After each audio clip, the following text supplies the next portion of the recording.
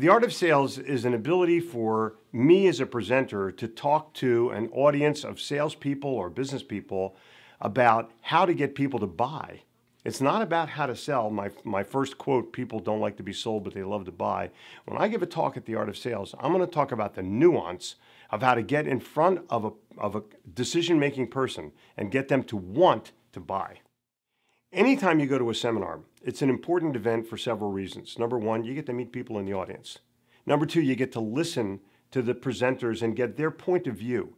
And then finally, you get to figure out how their point of view can be interpreted into your way of selling or your way of life and go back to your office or go back to your home and become better as a result of it. Okay, you've just seen my event. You're now back at your office and you're thinking to yourself, oh, what, the, what do I do first?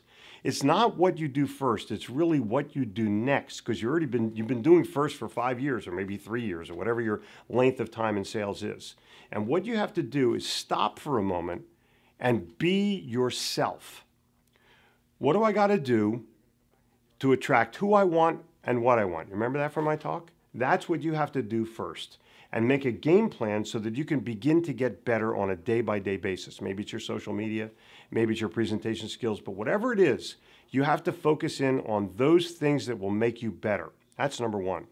And number two, you better stop griping about stuff. It's, oh, it's cold out. Big deal. Get a jacket, get a sweater. Don't talk about mundane things. Talk about important things. Talk about what the motive is for your customers to buy. Talk about why the customer rejected you and how you can fix that for the next time. Make certain that you concentrate on what's important as well as concentrate on how you can morph this information into you.